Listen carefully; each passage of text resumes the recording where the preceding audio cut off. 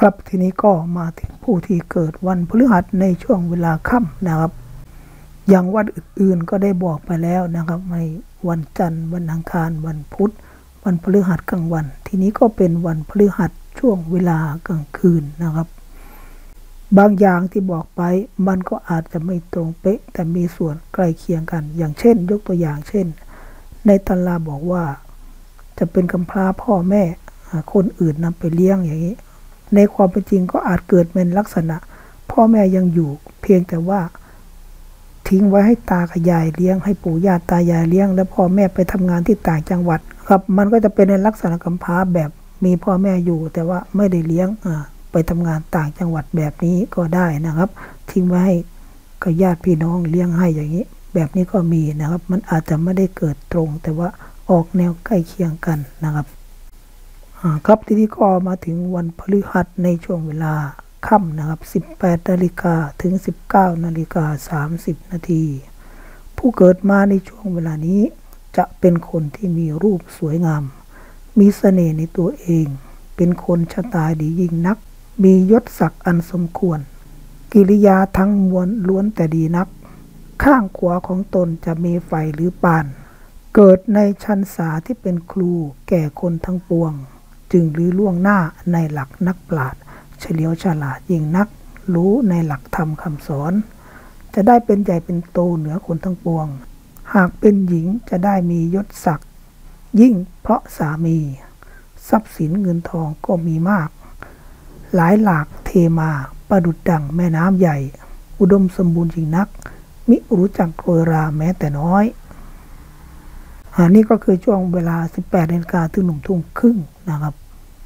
ต่อไปก็จะเป็นในช่วงเวลาตั้งแต่ 19นาฬิกา30 นาทีถึง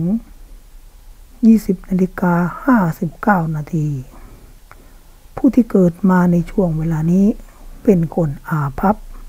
มีทรัพย์น้อยพอจะได้รับความลำบากเข็นใจยิ่งนัก ต้องจากที่อยู่ที่กินสองหรือสามครั้งเป็นอย่างน้อย การงานใดๆไม่ค่อยใครได้ทำ เพราะเต็มไปด้วยความเกียจค้าน ตามแต่ใจตัวเองเป็นยิ่งนัก นิสัยติดจพานผู้ใหญ่ว่าเก่าเอาก็ไม่ได้ แม้จะกลับมาอยู่ในถิ่นเกิดของตัวเองก็ไม่ค่อยมีความสุข เป็นทุกข์ใจอยู่เรื่อยๆ แถมยังคบหามิตรสหายไม่ค่อยได้ เพราะใจตนเองไม่ค่อยซื่อสัตย์ต่อเพื่อนนั่นเองนะครับ อันนี้ก็คือในช่วงเวลาตามที่ได้กล่าวมาแล้วนะครับ ครับต่อไปก็จะเป็นช่วงเวลาของวันพฤหัสในช่วงเวลา 21 นาฬิกา ถึง 22 นาฬิกา 29 นาที ผู้ที่เกิดมาในช่วงเวลานี้ เกิดมาในชั้นสาที่เป็นตระกูลที่ดี มั่งมีสีสุขโดยลาบยศนานาทุกประการ แต่ก็ต้องจำพัดพลากจากสถานที่มิได้อยู่กับพ่อแม่ของตน ต้องจากไปอยู่บ้านอื่นเมืองไกล เมื่อเติบใหญ่จึงจะได้กลับหวนคืนมาสู่เพิ่มลำเนาเดิม แต่ก็มักจะเดือดร้อน เพราะมีศัตรูคอยเบียดเบียนอยู่เสมอ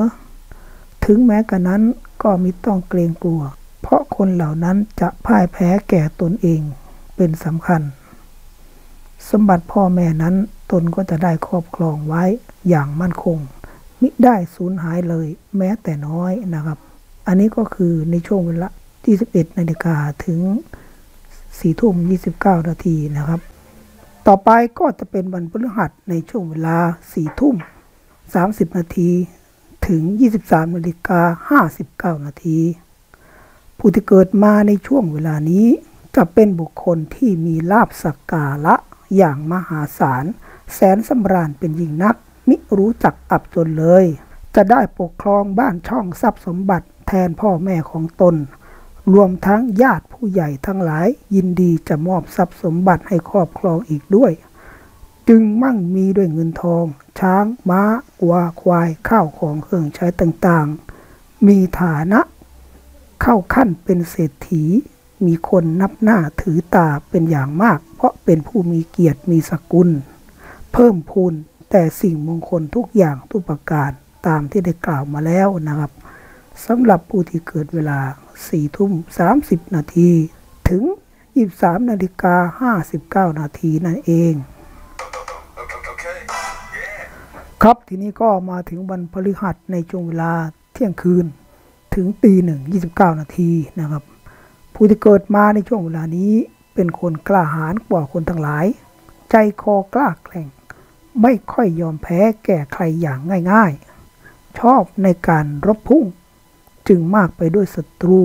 ในที่นี้ก็เปรียบได้กับทหารตำรวจหรือไม่ก็นักเลงนะครับ จึงมักจะมีถ้อยคดีความอยู่เนืองๆเป็นคนอาภัพแต่เมื่อแรกเกิดทำให้เสียทรัพย์สินมิค่อยได้หยุด แต่เป็นคนมีสติปัญญาเฉลียวฉลาดยิ่งนัก มีไหวพริบปฏิภาณท่านคน จึงเป็นคนเอาตัวรอด เมื่อเติบใหญ่มีหลักฐานให้พี่น้องได้พึ่งพิง เป็นที่พำนับได้อย่างดี แต่ศัตรูมีมากนัก ก็ทำอันตรายไม่ค่อยได้เช่นกัน นี่คือผู้ที่เกิดวันพฤหัสตีช่วงเที่ยงคืนถึงตีหนึ่งยี่สิบเก้านาทีนะครับ ต่อไปก็จะเป็นในช่วงเวลาตีหนึ่งครึ่งถึงตีสองห้าสิบเก้านาที ผู้ที่เกิดมาในช่วงเวลานี้เรียกว่าชีพจรลงเท้า ดังนั้นเมื่อเกิดมาแล้ว จึงมักไม่ค่อยได้อยู่ในที่ถิ่นเกิดของตน จึงมักต้องมีเหตุให้โยกย้ายอยู่เรื่อยๆ มักต้องโยกย้ายไปอยู่ถิ่นอื่นเรื่อยๆ เป็นคนอาภัพมีปัญญาน้อย ไม่ค่อยมีทรัพย์สินนัก แต่จิตใจของตนกล้าหาญเป็นยิ่งนัก แถมยังไม่ยอมนิ่งฟังคำสั่งสอนของผู้ใหญ่จึงไม่ค่อยมีใครรักใครเอ็นดู ถือน้ำใจตนเองเป็นสำคัญ เรียกว่าเอาแต่ใจตนเอง จึงมักเห็นกงจักเป็นดอกบัวอยู่เสมอ เมื่อทำแล้วจึงยากที่จะแก้ไขในข้อผิดพลาดได้ นี่ก็คือในช่วงวันพฤหัสในช่วงเวลาตีหนึ่งครึ่งถึงตีสองห้าสิบเก้านาทีนะครับ ต่อไปก็จะเป็นวันพฤหัสในช่วงเวลาตีสามถึงตีสี่ยี่สิบเก้านาทีผู้ที่เกิดมาในช่วงเวลานี้เกิดมาในชันสาที่ดียิ่งนัก มียศศักดิ์และมีตระกูล แถมยังเพิ่มพูนด้วยทรัพย์สินเงินทองค่าทาสบริวาร เป็นคนเจ้าสำราญจะทำการใด ๆ ก็ย่อมเป็นที่พึงพอใจของหมู่ชนทั้งหลาย อยากจะคบหาสมาคมด้วยทั้งผู้เฒ่าผู้แก่ให้ความเมตตากรุณาแก่ตนเป็นอย่างยิ่ง หากเป็นหญิงจะได้เป็นคุณเท้าเจ้าจอม ปัจจุบันนี้ก็คือคุณหญิงคุณนายได้นั่นเอง มีทรัพย์เลิศล้นจนถึงขั้นเศรษฐี ได้ดีเป็นที่พึ่งของญาติพี่น้องและญาติพุตระกูล ไม่มีวันที่จะเสื่อมถอยจากลาบยศเลย